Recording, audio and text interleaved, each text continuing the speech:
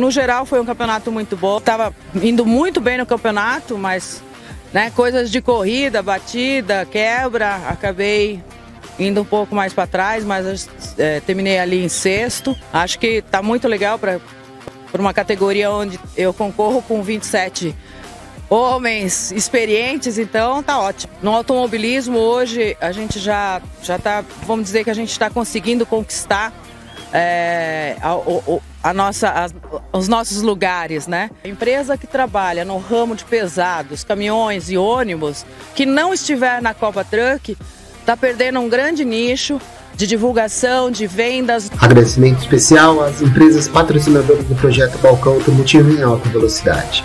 Epicargo, Cofap, Irma Cestari, Max Gear, Momag e ZF.